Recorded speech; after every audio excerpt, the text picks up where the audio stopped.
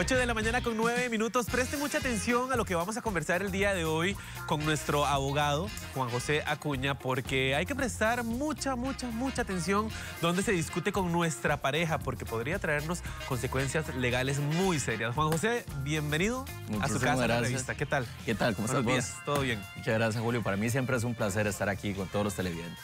Empecemos este tema, Juan José, hablando de los tipos de violencia que existen. Sí, bueno, eh, mucha gente cree que solamente hay violencia en aquellos hogares o en aquellos núcleos donde hay golpes, ¿verdad? Y no es tan así. En realidad sí, eso es una violencia que es como la que más conoce la población, que se llama violencia física. Pero también en la doctrina y en nuestros tribunales se conoce también lo que son otros tipos de violencia. Por ejemplo, la violencia psicológica, la violencia emocional, la violencia patrimonial que se da mucho cuando una persona depende de la otra. Entonces le dice, bueno, si no haces esto que yo te digo, eh, de, no voy a pagar esto otro, no voy a darte esto que te había prometido, este, o voy a quitarte esto este, dame las llaves del carro, ese tipo de cuestiones pueden constituir eh, violencia eh, patrimonial. Entonces, básicamente, y bueno, violencia sexual, ¿verdad? Que también lastimosamente se da.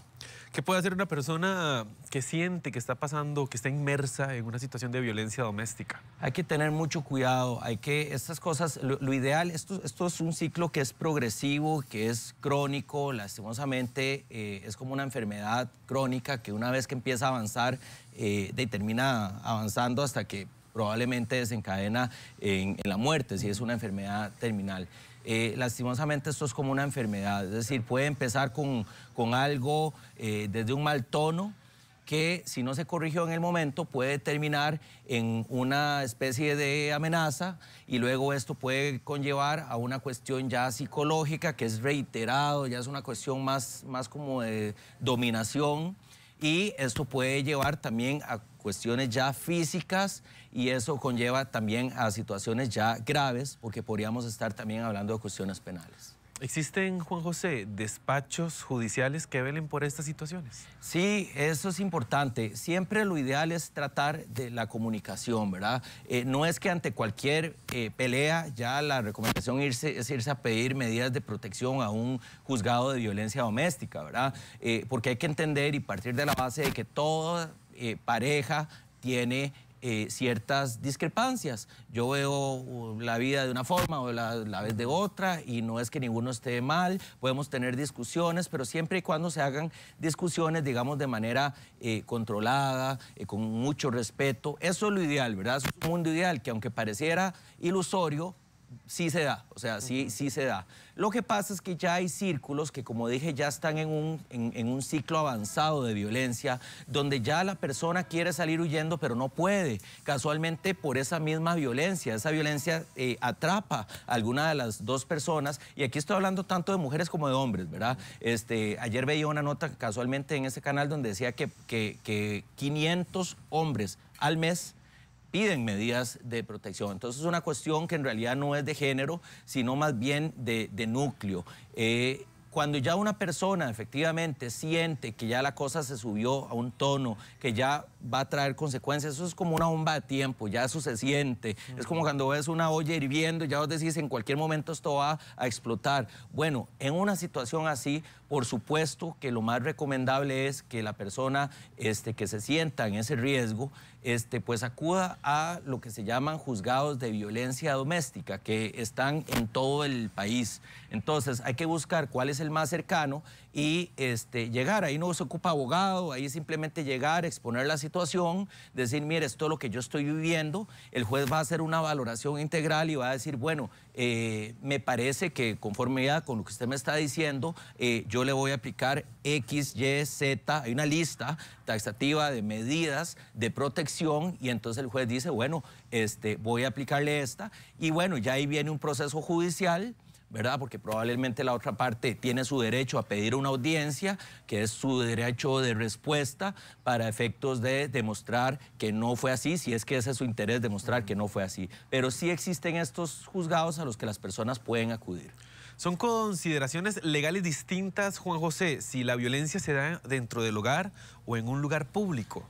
Sí, no. En realidad, eh, que se dé un lugar en un lugar público puede acarrear ciertas contravenciones, que es una especie, digamos, como de falta que no llega a la categoría de delito. Es como un mini delito, digamos, que no tiene mayores consecuencias, eh, como podríamos estar hablando en términos generales, por ejemplo, de alborotos, de riñas, etcétera. Pero no es tanto el lugar donde esto acontezca, porque más bien a veces el hecho de que acontezca en un lugar público, por lo menos entonces permite que haya algo que muchas veces no se da, que es la prueba. Este, porque muchas veces, si yo lastimosamente y desafortunadamente tengo una discusión con mi pareja en un lugar público, un restaurante, en un bar, yo puedo perfectamente... Eh, por ejemplo, si fuera que alguna de las otras, eh, digamos, mi pareja acudió a un juzgado de violencia doméstica, por ejemplo, este, yo podría poner como prueba alguna de las personas que estaban ahí. El problema se da cuando esto ocurre en situaciones este, en las que no hay prueba. Este, es decir, se dio en la casa de habitación, se dio en una habitación donde no hay no hay cámaras, no hay testigos, difícilmente van a haber testigos en un cuarto, ¿verdad? Entonces, este, ese es el asunto. Muchas veces no tiene que ser muy dramática la escena. Eh, eh, basta, por ejemplo, una amenaza que se dé para que ya estemos eh, frente a un delito, ¿verdad? Este, hay una ley, inclusive una ley de penalización, se llama así ley de penalización de violencia contra la mujer, donde con una amenaza digamos, donde inclusive, eh, ahí se establece todas las violencias que, ya expliqué, donde inclusive con ciertas eh, cuestiones donde yo afecto el honor a esa persona, ya tengo, puedo enfrentarme a una pena eh, privativa de libertad. Por eso lo ideal es, indistintamente de donde estemos, siempre tener ese control. A veces hay personas que ya por su temperamento no se pueden controlar. Son personas que, sea quien sea, les diga algo, van a explotar. A veces es mejor tener esa paz, quedarse callado, a veces el sabio calla ante ciertas situaciones y eso hace que al final la cosa no llegue a más. Hace unos días se hizo viral en redes sociales un video donde una mujer a la que aparentemente le fueron infiel despedaza el vehículo de su novio o de su esposo con un desatornillador y hay varios vecinos grabándola y ella dice, no me graben, me fue infiel, este, eh, esto y más se merece. Eh, ¿A qué se expone una persona que, que hace un acto como este? Esta ley que yo te decía, ley de penalización de violencia contra la mujer, que de hecho antes estaba diseñada solamente para marido y mujer, es decir, cuando vive un matrimonio, pero esto se reformó el año pasado y entonces ahora quedó abierto para también parejas sentimentales que no estén, digamos, este, casadas.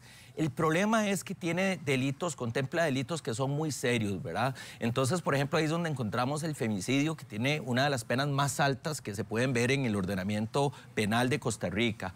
Este, resulta ser que entonces, en una situación como esa, eh, obviamente hay que ir a un juicio, porque los juicios es donde se puede, yo siempre digo que el juicio es como una olla donde se echan todos los ingredientes y ahí es donde eventualmente puede que salga una condena o puede que no salga una condena. Entonces, sin esa cocción es difícil eh, eh, determinar ¿Qué pasó? Aparte de que hay un principio de inocencia en Costa Rica donde todo el mundo es inocente hasta que se demuestre lo contrario, como es la famosa eh, frase. El problema es que situaciones como estas que se dan al calor del momento, porque evidentemente se dan al calor del momento, eh, lo que pasa es que pudiéramos estar ante una tentativa. Yo sé cuál es el caso que vos hablás. Este, tal vez la persona en ese momento este, eh, eh, comete una acción porque esa persona está obnubilada. Obnubilada es que está fuera de sus sentidos. Esa persona no está pensando, no está consciente de lo que está haciendo.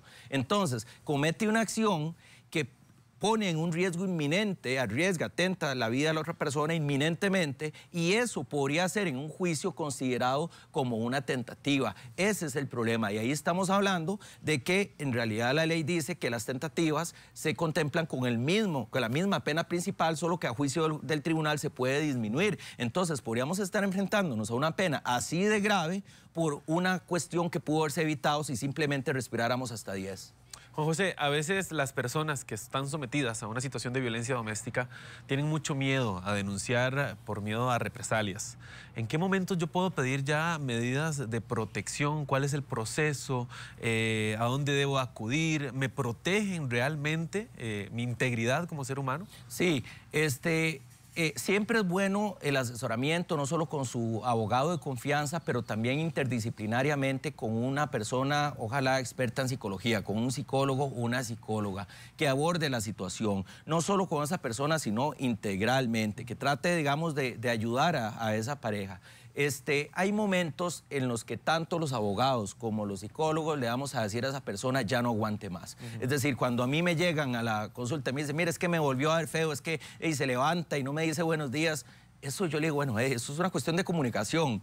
Pero cuando a mí me dice, mire, me rompió el plato en la cara, me rompió una escoba en las costillas, este, me agredió y me dejó los ojos rojos y no pude salir en cinco días porque me daba vergüenza, lo que os decís, esto implica mucho de violencia. En esas situaciones, lastimosamente, uno no, uno se sentiría responsable si algo llega a pasar y uno no actuó en el momento. Entonces, en estas situaciones uno tiene que recomendarle a la persona, indistintamente si es hombre o mujer, uno tiene que decirle que vaya a buscar lo primero que es medidas de protección, que son las que se establecen en el juzgado de violencia doméstica. Las medidas de protección es como apagar el incendio. Ahí no se está resolviendo el fondo del asunto, ahí simplemente se está apagando el incendio. Es decir, ahí el juez lo que va a hacer es analizar esa solicitud, digamos, el, juez va a escuchar va a escucharte y va a decir, bueno, a ver, ¿qué es lo que usted está pasando? ¿Cuál es su situación? Entonces, él te escucha y va a tomar ciertas medidas. Eh, básicamente es un proceso sencillo donde la otra parte le notifican, puede ir a pedir dentro del plazo de cinco días una audiencia.